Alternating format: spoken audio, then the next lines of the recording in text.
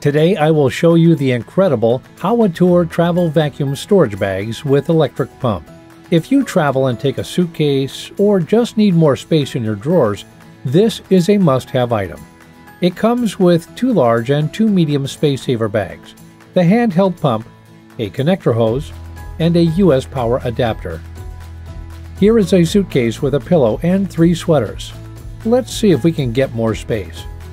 I will connect the AC adapter to power and then to the pump itself.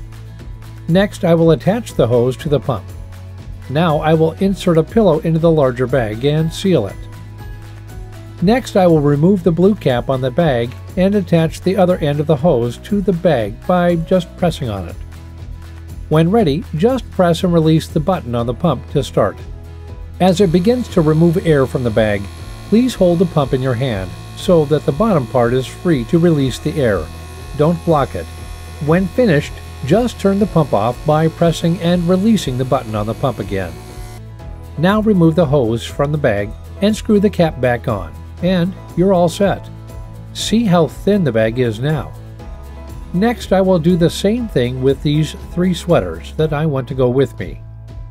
What makes this item very practical is that there is no extra equipment needed, like a vacuum cleaner or a hand pump, which can be very tiring.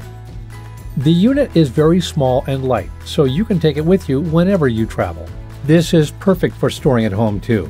Here I am replacing a pillow with the three sweaters and pillow in its place. These travel vacuum bags are made of premium and high quality PE plus PET materials that are durable and able to last for years you really won't be worried about the long-term effects when storing your clothes or other items in our airtight bag.